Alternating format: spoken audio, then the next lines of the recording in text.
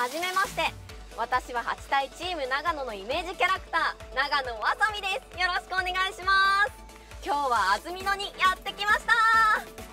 今日は美味しい和菓子屋さんにやってきました。それはこちらです。里賀賞丸山富田店さんです。それでは行ってみましょう。こんにちは。はじめまして長野わさびです。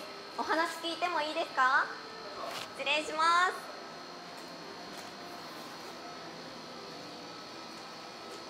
はじめまして今日はよろしくお願いします、はい、よろしくお願いします。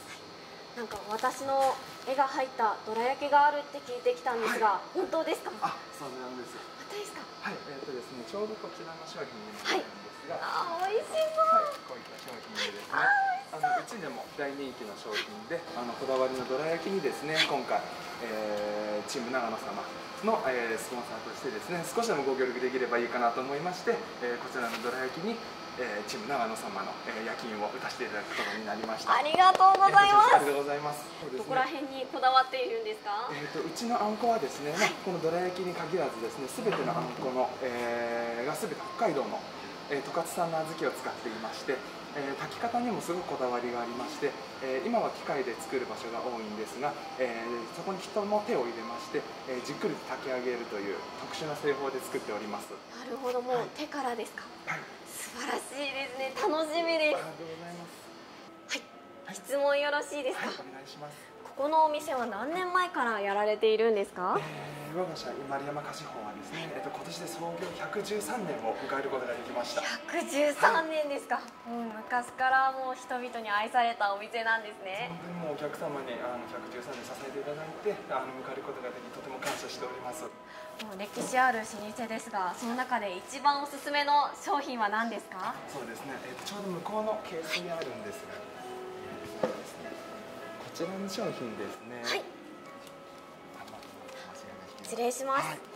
このピンクの可愛いパッケージが目印なんめですが。ちゃめちゃ可愛いですね、はい。この安曇野カレンという。これはもうめっちゃ名前だ、もう名前だけでも素敵ですね、この商品が今のうちの一番商品になって一まして。番商品。はい。すごい。これこの商品もですねすごくこだわりのあんこを使っておりまして、えー、と普段あんまり使わないバターとかあバターとか。生クリーム、あと隠し味にマスカルポーネマスカルポーネまでですか？そうなんです。それを練り込んであの、まあ、お子様でもこう和菓子に接する機会があるのかなと思って開発した商品になります。じゃあもうお子様でももう喜んで食べるような和洋折衷なお菓子なんですね、そうなんです。あ私もめちゃめちゃ気になります。ありがとうございますでそうですね。あとはこちらの商品になりますね。この上上には、えー、とカットバーム。カットバーム。バームクーヘンですね。あーバームクーヘンも、はい、下があの、この夏限定のゼリーとかあーゼリーいいですね、はい。ちょうどこのフロアがうちの今の売れ筋商品。嬉しい商品ですね、い、やもうねゼリーもみ水羊羹もすごい夏っ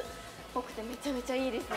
涼しげでめちゃめちゃ食べたいです。ありがとうございます。もう本当にこの商品であのお客様にですね少しでもこのコロナのあコロナの、空気というか、それを少しでもこのうちのお菓子でですね紛らわしてあの笑顔になってもらえればいいかなと思ってあのうちの全スタッフもですねあの協力をしてもらってあのこういった形でしっかりとお客様にアピールできるようにやっております。